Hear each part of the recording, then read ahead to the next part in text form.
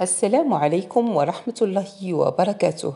أعزائي التلاميذ فيديو اليوم يخص مادة التربية الإسلامية للجدع المشترك درس فقه المعاملات. المعاملات المالية في الإسلام. أحكامها وضوابطها. النصوص المؤثرة للدرس. النص الأول. قال الله تبارك وتعالى آمنوا بالله ورسوله وأنفقوا مما جعلكم مستخلفين فيه. فالذين آمنوا منكم وأنفقوا لهم أجر كبير. سورة الحديد الآية سبعة. النص الثاني. عن مطرف بن عبد الله. عن أبيه قال دخلت على رسول الله صلى الله عليه وسلم وهو يقرأ ألهاكم التكاثر حتى زرتم المقابر.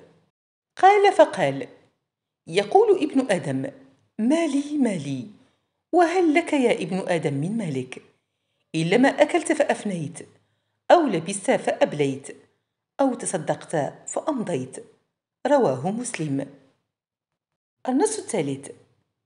عن أبي هريرة رضي الله عنه قال قال رسول الله صلى الله عليه وسلم من نفس عن مؤمن كربة من كرب الدنيا نفس الله عنه كربة من كرب يوم القيامة. ومن يسر على معسر يسر الله عليه في الدنيا والآخرة. ومن ستر مسلما ستره الله في الدنيا والآخرة. والله في عون العبد ما كان العبد في عون أخيه. رواه المسلم. المحور الأول قراءة النصوص ودراستها. توثيق النصوص والتعريف بها. التعريف بسورة الحديد. سورة الحديد وهي سورة مدنية وعدد آياتها تسعة وعشرون آية. ترتيبها سبعة وخمسون في المصحف الشريف. نزلت بعد سورة الزلزلة سميت بهذا الاسم لذكر الحديد فيها وهو قوة الإنسان في الحرب والسلم وعدته في العمران والبنيان. اهتمت بالتشريع والتربية وبناء المجتمع الإسلامي. على أساس العقيدة الصحيحة والتشريع الحكيم والخلق الكريم. نشاط الفهم وشرح المفردات. شرح المفردات والعبارات. مستخلفين فيه. وكلاء ونوابا. ألهاكم. شغلكم عن طاعة ربكم. التكاثر. التباري والتنافس في كثرة المال والعز. أكلت فأفنيت.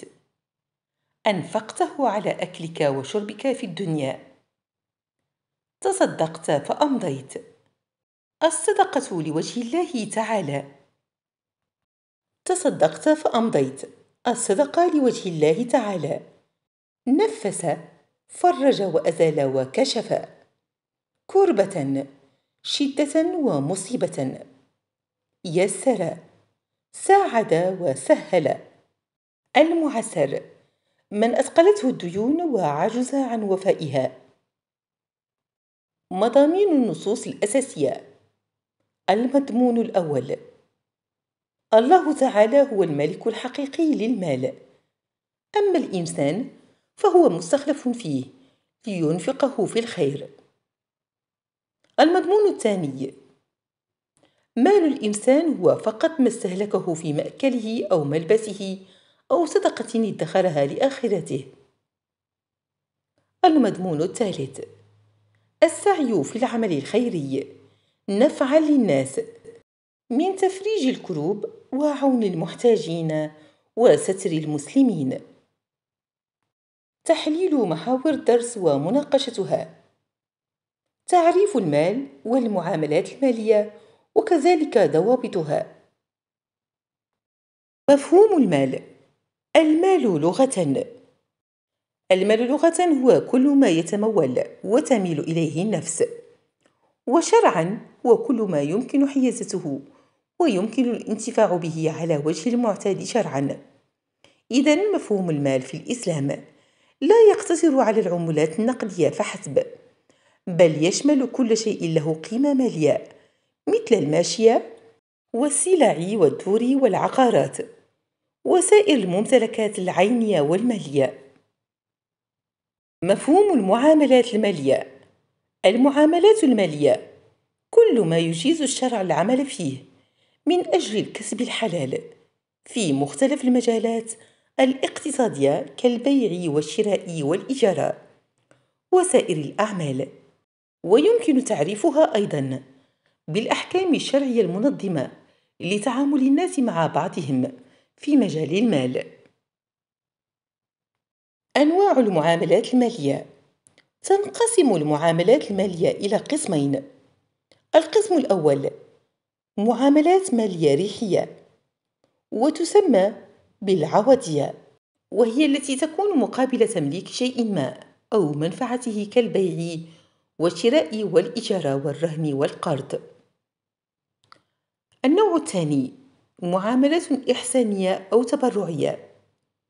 وهي المعاملات التي يقصد بها الإحسان والإرفاق مثل الهبة والوقف والعتق والوصايا وغير ذلك. نتعرف على ضوابط المعاملات المالية في الإسلام وأحكامها.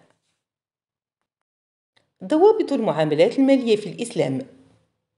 شرع الإسلام مجموعة من الأحكام الضابطة لسائر المعاملات المالية بما يحقق نماء المال وحسن تدبيره واستهلاكه ومن أبرز هذه الضوابط تصحيح النية والقصد في المعاملات المالية عن طريق الإخلاص لله تعالى وابتغاء مرضاته وتجنب المن والأذى والرياء.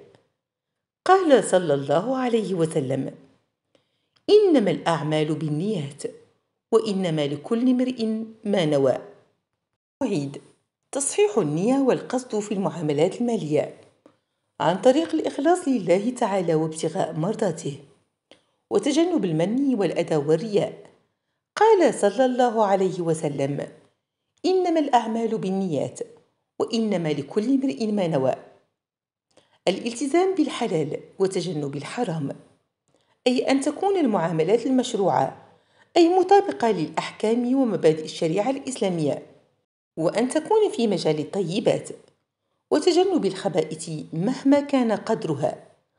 قال صلى الله عليه وسلم إن الله طيب لا يقبل إلا طيبا. حفظ الحقوق. وذلك حرص الإسلام على توثيق العقود وكتاباتها حفظا للحقوق وتفاديا للنزاعات. قال تعالى وليكتب بينكم كاتب بالعدل. الالتزام والصدق في المعاملات. الوفاء بالعهود والمواثيق من أجل الأمور التي دعا إليها الإسلام. ورتب على من نقضها أو أخل بها صنوف الذم والعقاب.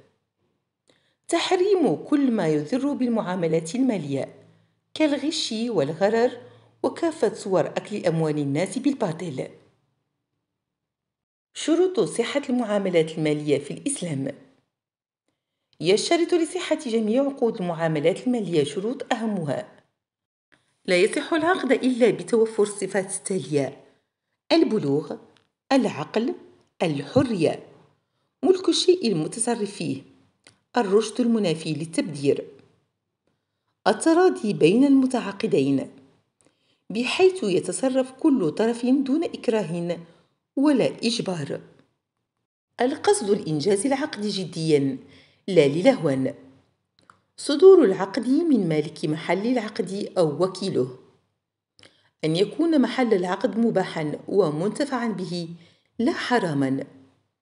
أن يكون محل العقد الشيء المعقود عليه معلوما لدى المتعاقدين أن الثمن ثمن معلوما. إلى هنا أعزائي التلاميذ وصلنا إلى نهاية الفيديو. فلا تنسوا الاشتراك في القناة. وكذلك الضغط على زر لايك وزر الجرس ليصلكم مني كل جديد. دمتم في رعاية الله وحفظه.